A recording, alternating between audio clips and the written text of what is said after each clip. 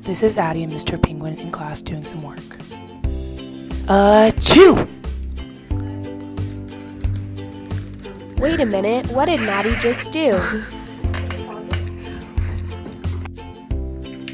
Hold up, did Maddie just put her germs on here? And Addie wiped her nose with the germs? Chew! Achoo! Achoo!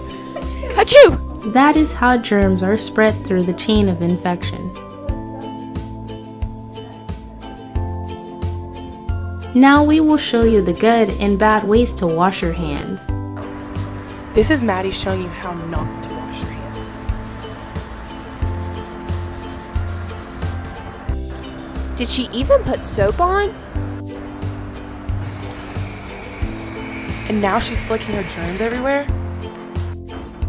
This is how to properly wash your hands.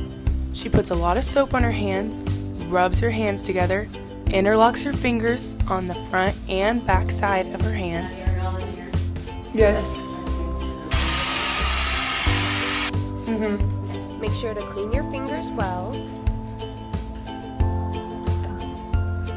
And don't forget your thumbs.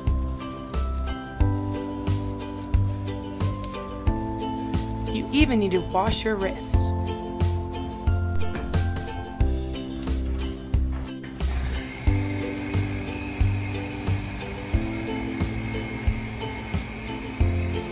She wipes her hands with a towel to make sure nothing gets dirty and keeps her hands clean. Let's go back to the beginning.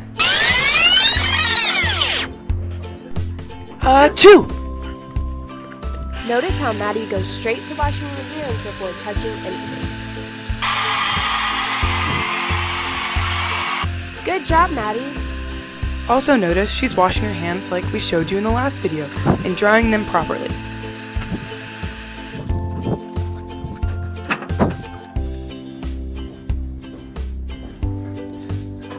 So kids, what's the difference between the last video you saw and the first one?